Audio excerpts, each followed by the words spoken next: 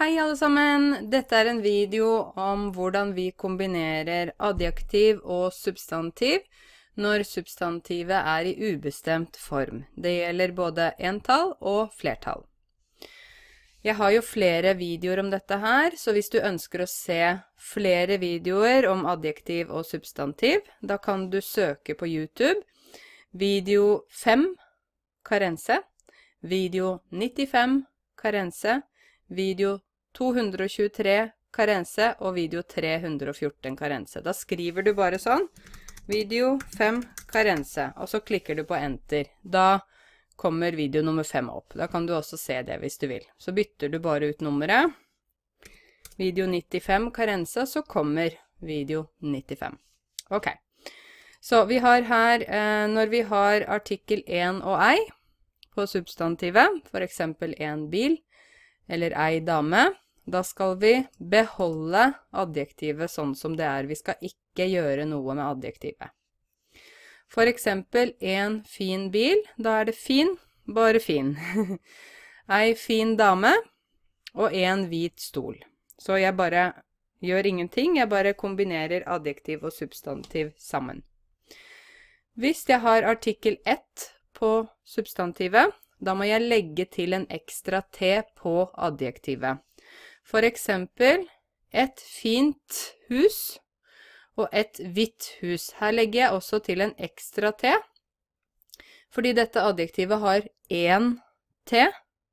Men når det da kommer artikkel 1, da må jeg legge til en ekstra T her, så jeg får to T-er.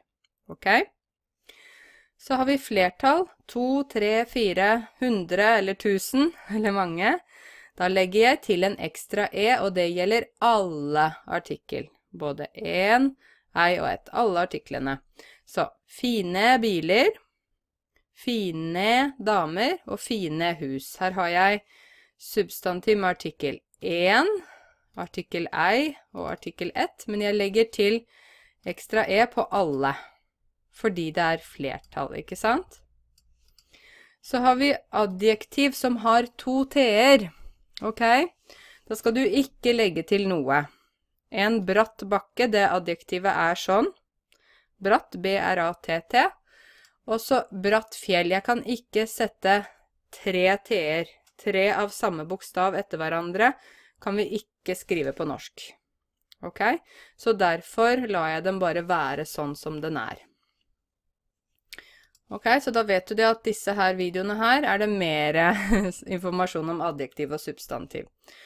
Nå snakker jeg bare veldig generelt. Nå skal jeg gjøre noen oppgaver her sammen med dere. Sette inn riktig adjektiv. Hun badet i ett, da er artikkel ett.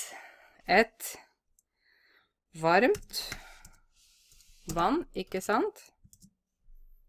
Med ekstra T, fordi det heter ett vann. Adjektiv høy. Hun gikk opp på et høyt fjell. Ikke sant? Et høyt fjell. Bratt. Han hadde ikke gått på så bratt fjell før. Eh, her snakker vi nok om flertall, fordi eh, vi har ikke artikkel foran. Så da må det bli bratte fjell før. Det betyr at han har gått da på flere fjell, ikke sant? Og da legger jeg til ekstra e fordi det er flertall. Men noen sier, ja, men hvordan vet jeg at det er flertall? Det står jo bare fjell. Det står ikke fjeller. Vel, eh, det er når vi har substantiv med én eh, stavelse og artikkel ett. For eksempel et hus, det er én stavelse. Da blir det to hus. Et barn, to barn. Et fjell, mange fjell. Men ikke med flere stavelser. Et dokument, to dokumenter. Ok, så det gjelder bare de med én stavelse eller én klapp. ok, de hadde én flott fjelltur. Her har jeg allerede dobbelt T, og det er jo én, så jeg skal ikke legge til noe der. En flott fjelltur. Hvit på toppen av fjellet lå det snø. Jeg heter én snø. Hvit snø. Ikke dobbelt T, for det heter én snø. Ja, snøen, ikke sant? Eh, fin. Hun hadde på seg én fin festdrakt. Her er det én, så jeg endrer ingenting. Bare lar det være som det er. Gammel. De så på en gammel stavkirke. Jeg endrer ingenting. Artikkel er én, så det skal bare være sånn. Nydelig. De hadde Den hadde en nydelig kirkedør. Mm -hmm. Lang. Han gikk på en lang skitur. Stor. Far og sønn gikk i ett tog på 17. mai. Et stort tog, ikke sant? Alle hadde drakter på seg. Drakter er jo flertall. Da må vi ha adjektivet først her. Fargerike drakter på seg. Og han kjøpte en stor is. Du ser at adjektivene kommer foran substantivet, ikke sant? Når vi har ubestemt form.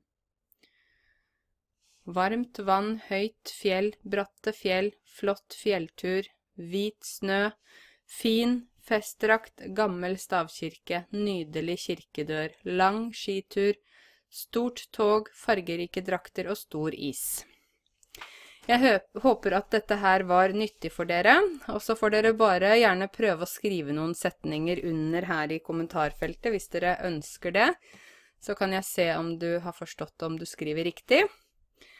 Og ellers så kan du se disse videoene her, nummer 5, nummer 95, nummer 223 og nummer 314, hvis du har tid og hvis du vil. Ok, Eh, da sier jeg takk for at du så på videoen min, og jeg ønsker deg en fortsatt fin dag videre. Ha det godt!